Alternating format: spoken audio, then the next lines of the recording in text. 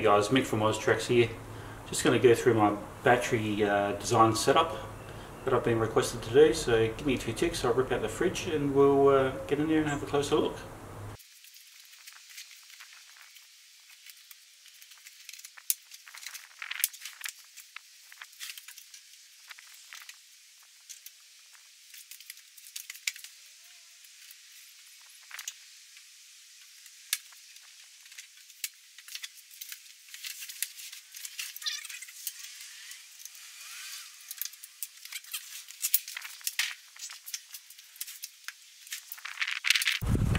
Alright, so this is my battery box set up here. Designed it completely off the top of my head, no plans whatsoever. So if you're asking me how to do it, how to build it, you're just to have to wing it and give it a shot yourself. But um, just to go through a few things, the panel I bought off eBay, I think it was eBay or Amazon. I have to check, I'll put description of everything in the link below. Uh, that panel there cost about 60 bucks, I think it was. Um, comes with USB ports, of 1 amp and a 2.1 amp on the charge. So I'm going to upgrade that shortly. Um, voltage for the battery. And cigarette lighter socket which I don't really use because I've got the fridge wired to the ends and plugged down here. So my side lights are wired off of this one. And my fridge is actually on a switch. Because with the Engel fridges um, those ones there, when you turn it off, it actually adjusts the temperature, and I didn't want to bother mucking around with that, then having to work it out. That there is my temperature gauge for the fridge, the ambient temperature and the fridge temperature, so I know what the inside outside temps are.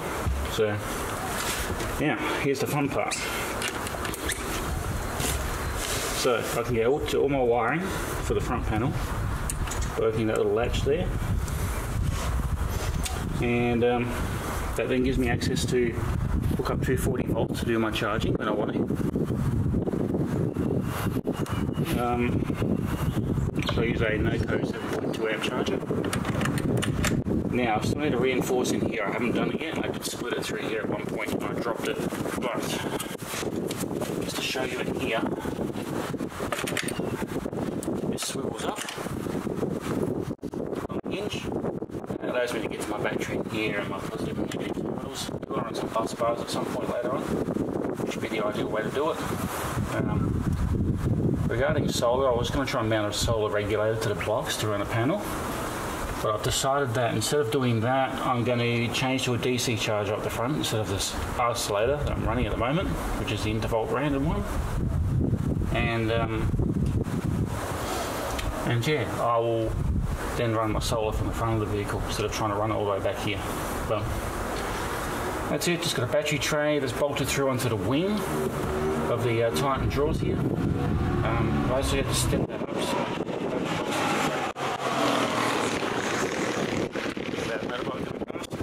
so um, yeah, so I should step up there so the fridge slide doesn't drag on the box. Makes it move a little bit better. And um, yeah, just got some pass-through posts on the back of the box here. And some rubber caps on there so nothing shorts out. So, And yeah, yeah, obviously battery tray, I've got a battery hold down clamp here too, so that doesn't go anywhere. It's nice and secure. Um, so that's my little design. It's not hard. Just drilled, I think this uh, battery box held down by three bolts through the battery tray, through the wing. So that doesn't go anywhere either. So so yeah, that's pretty much my battery box. Then I just carpeted the thing and stapled it as well. Yeah, just lock that up there, up there. That keeps it all secure. It doesn't go anywhere. So if you have any questions, feel free to ask. And um, yeah, well, that's it, my battery box really. So this here is my uh, back of my battery box. You should be able to see it. So you've got the uh, couple of posts on the back there um, Anderson plug in the middle goes to my compressor and the one on the bottom right there is so I can disconnect the battery box from the main wiring harness if I need to, to pull it out. So, which is a bit of a mission considering the battery weighs almost 30 kilos. So yeah, that's the back of the battery box. So there's my battery setup guys. If you've uh, liked what you've seen, feel free to hit that like button and subscribe. I'll do more videos as we go. Um, If there's anything you want to ask, feel free to ask in the comments below. I'll add some links in there as well, let you know where to buy some of the items that I've used in my battery box. Go on guys, catch you next time.